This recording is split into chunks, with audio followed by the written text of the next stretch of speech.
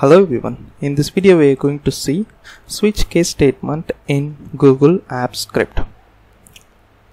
This is the syntax of a switch case statement. Uh, basically this switch case statement is an advanced form of if else statement multiple if else statements so in the if else statement we are checking the conditions different conditions one by one in each if else statement but if you take about this a switch case statement you are getting an expression and comparing the expression with a multiple cases so there is a main difference uh, between if else statement and switch case statement. If you see the syntax of switch case it starts with a keyword switch followed by the expression. Here you need to give the expression which you need to evaluate. And it will take the expression and compare that expression with each cases given in inside the curly braces so if any of the case is satisfied or if any of the case is matched with the expression then it execute the instruction which is present inside this case. And if break statement is present then it break and come out of the switch case statement. If the break statement is not present then it start executing and cases which present next to it. So it is always wise to use the break statement after each case statement. If you want to break this case. Or if you feel that you want to execute two cases then you can take out this break statement. So if this expression matches with this case n then it execute this code block and again also it execute this case as well. And this case as this case will not be executed because here a statement break break this a switch case. So this is how it works. And for the last one default statement or whatever may be the last case it you don't need to provide a break statement because that is a last case so it automatically it comes out of the, uh, the switch case statement. So this is how um, switch case statement works. Let's see an example of a switch case statement in google apps script editor. So i have opened a blank spreadsheet and script editor here. If you don't know how to open script editor go to tools and script editor it will open the script editor in a new window like this. I just change the function uh, from a default the my function to for next. And here what we are going to do is uh, we are going to get an input from the user uh, asking uh, asking him to enter a number say from 1 to 5 and we are going to display what was the number entered by that user. That is what we are going to do with a switch case statement. So I'm going to get this uh, UI of the spreadsheet. So I'm going to create an instance for this um, uh, spreadsheet app UI so I'm using spreadsheet app dot get UI so now I can able to get the UI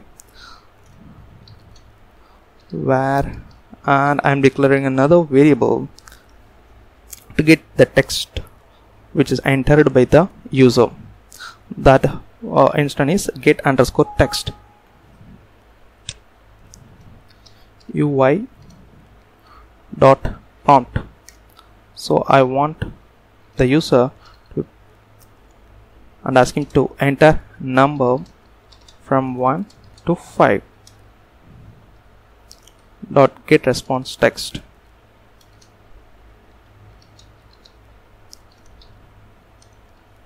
so I have declared another variable get number because of this variable get underscore text.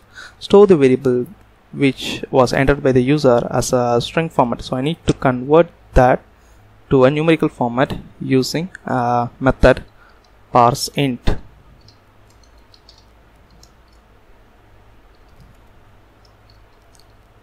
And inside that method I am passing a value get text so that it convert this text format to a numerical format that is an integer format. And now I can use that as an expression to evaluate a different cases.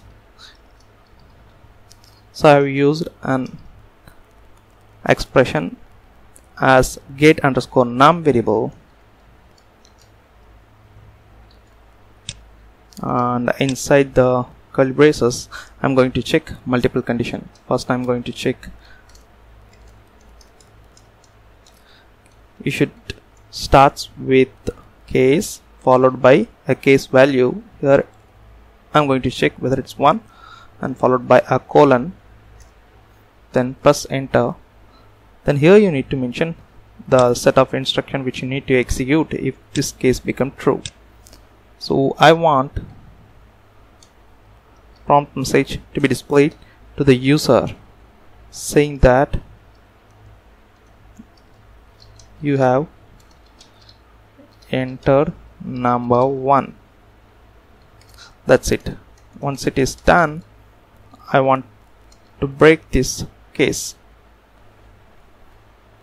So I need to repeat the same for 5 5 times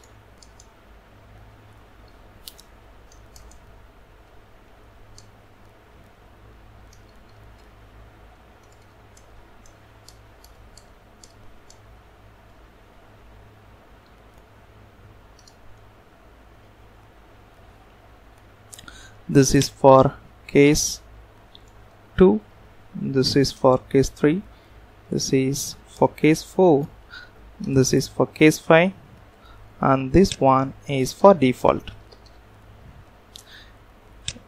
So you have entered number 2 I have to change this to number 3 and here 4 5 you have entered some other number so that's it. File save.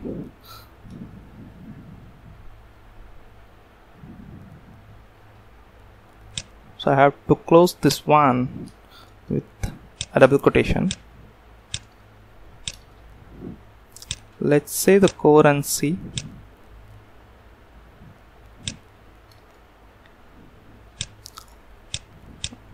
that's fine. So this is a switch case statement. First I have get an instant of this uh, spreadsheet app UI next I'm prompting with a text enter any number from 1 to 5 in an uh, like in the form of input box and I'm storing the uh, response which entered by the user in a variable get underscore text. Then I'm converting the get underscore text which is a string format to an integer format using a method parse int then using a switch case statement I'm passing this get num variable as an expression here and I'm checking this expression with the multiple cases starting from 1 2 3 up to 5 and if user enters some other value apart from 1 to 5 then I need to uh, inform that user that you have entered some other number with a case default. Default is a kind of case that used to execute if none of the case match with expression. That is the purpose of this default case. So let's execute and see how it works. So if you go here, uh, you can see a prompt message asking user to enter number from 1 to 5. I'm entering a number 3. See, it showed a prompt message saying you have entered a number 3 so if I take out this break statement let's see uh, let's say commented that I have commented that. Now execute it once again. And I'm entering the same 3 if you see you have entered number 2 sorry number 3 then again I'm getting a one more message saying you have entered number 4 because this doesn't break with the statement. Here break statement is missing so it continue with case next to this case 3 but it's not executing the case 5 because case 4 has a break statement. So this is how a switch case statement work. Thank you for watching this video if you want a theoretical description of uh, switch case statement, please do check out my blog post which I have given in the YouTube description and let me know if you have any doubts or comments. Thank you for watching this video. Please subscribe.